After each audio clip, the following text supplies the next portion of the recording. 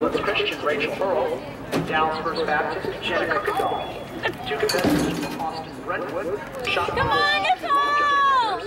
from Dallas Shelton and Tanner Owens, from Arlington Quays Prep, Miles Norwood.